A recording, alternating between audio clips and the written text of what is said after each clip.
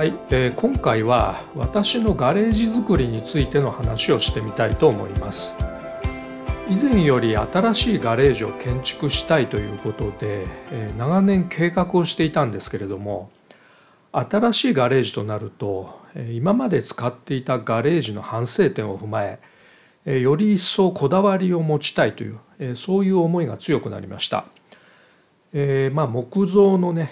ガレージとか鉄骨のガレージさまざ、まなその構造のね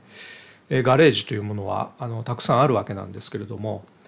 えー、その中から私が選んだガレージは長野にある角市というねメーカーさんのものにしました。農業用の大型倉庫とか店舗用物件とか大型の鉄骨造りの建築物を得意とするメーカーさんです。この角位置を選んだ理由としてはですねまず第一に天井高、まあ、中の高さが欲しいというね、まあ、そういうことでこの角一さんが候補に上がりました。えー、まあこのガレージを作るにあたりですね、えー、まあ、車をジャッキアップする、え、まあ、リフトの設備をね、え当初は入れようという計画をしていたので、えまあ、この天井高がある程度取れるという、まあ、この角一さんのねガレージを候補として考えていきました。そしてあのこのリフトアップする設備についてはですね、まあ、諸々の事情により断念することにはなったんですがこの建物自体を、まあ、実際ですねショールームに行って見に見学をねしてみたんですけども結構頑丈な作り、まあ、武骨な作りで、まあ、この、まあ、あの今まで使っていたねえまあ、簡易的なその鉄骨ガレージなんかと比べて非常に頑丈、まあ、その武骨なところ、まあ、これが気に入ってですね、え、まあ角一さんでそのまま継続するというような、え、そういうことになりました。えー、そしてあの角一さんのねあの、まあ、商品ラインナップ、まあ、その辺ちょっと見てみたいんですけども角市さんの建物というと、えこのようなあの農業用の大型倉庫、え長野の田舎に行くとね結構見かけるんですがこの特徴的な前下がりの屋根とかですね、えこんなような大型倉庫をよく見かけます。えあと、まあ、角市のその農業用資材置き場とかあと店舗とかですねえこういうものもあるみたいです。え、そして新たな商品ラインナップとして、え、このようなねあの切り妻タイプの、ま、ガレージ、まあ、ガレージですよというようなこういう商品が出てきました。え、これ新しくねその HHT タイプということで、シリーズ展開してるんですけども、えまあ、今までのその農業用倉庫のまあデザインからまあ脱却してこのようなねえーまあ、ガレージライフをする人に向けた商品というような、えーまあ、そういう企画で出てきた商品です。えー、切り妻タイプでデザイン性を重視し、えーまあ、外反をまあブラックにすることにより、まあ、かっこいいというようなね、えー、そういうデザインで出てきたんですが、えーまあ、内装なんかもねあの DIY でやるといいですよみたいな、えー、そういうことを、まあ、うまくそのまあ消費者にアピールするというような、えー、こういうところがまあ上手だなというような、えー、そんな感じがします。えー、実際私これ、まあ、見てねああ結構かっこよくていいな自分もやってみたいなという、えー、そういう思いになったので、えー、まあこれね、まあ、興味持ってらっしゃる方も結構いるかと思います。えー、そしてあの実際ショールームに行ってねこの、まあ、HHD タイプのまあ、ガレージを見させてもらったんですけども、えー、今まで使っていたあの、まあ、淀港のガレージとかねあの、まあ、そういうものと比べるとその鉄骨が非常に頑丈、えー、梁なんかもね、えーまあ、非常に厚くて、えーまあ、広いスパンで、えーまあ、建物が建てられるというような、えー、そういうところがあって、えー、まあこれ角位置やっぱいいなというような、えー、そういうことになりました。えー、それとあと、まあ、天井高がねあのある程度高く取れるっていうところは、まあ、選んだ一つでもありますけども、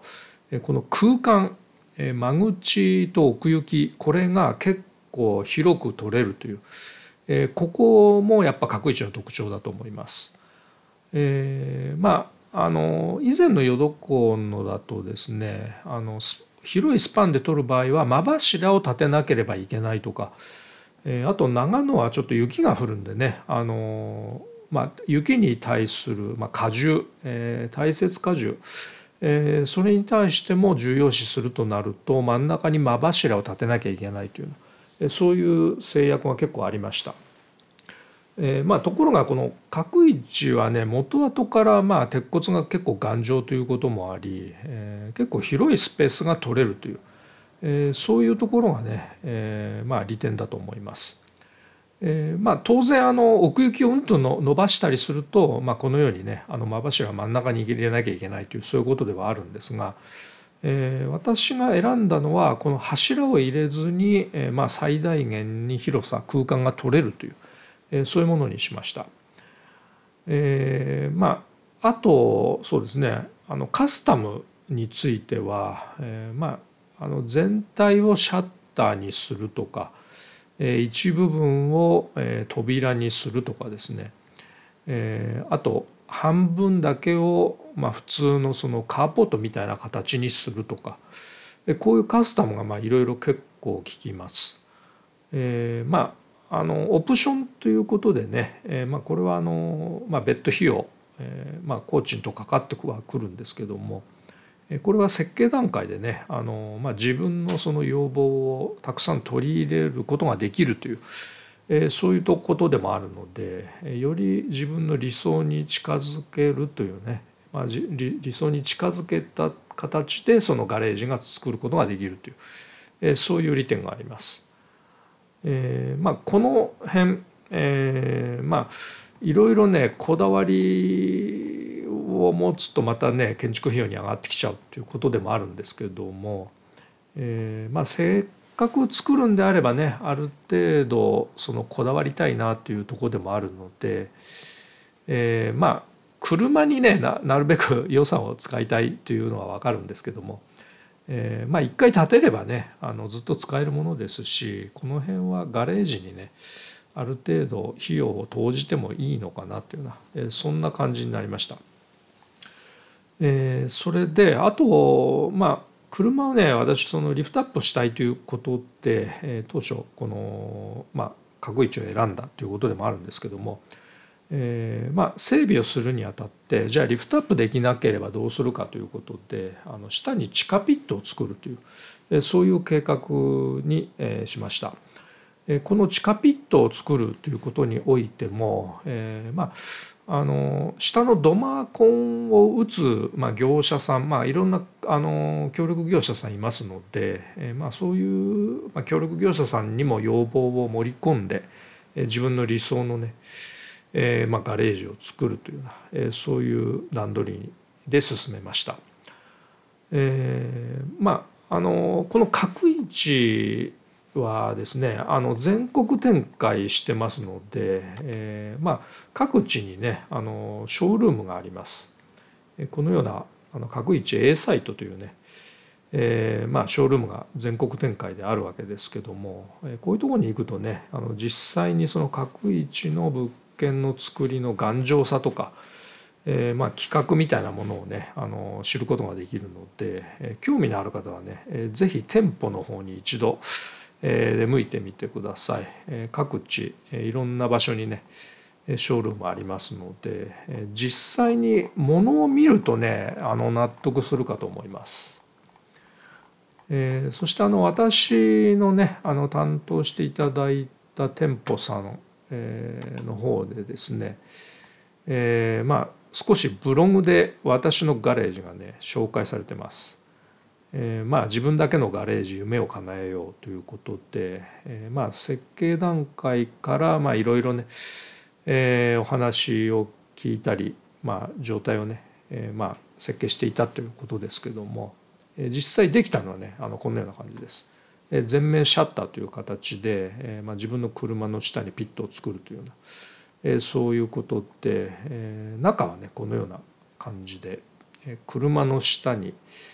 まあ室みたいなね、えー、ピットを掘りました。えこれはあの土間と一緒にねあのコンクリートを打って作ったという結構深い、えまあ、人が入るということをね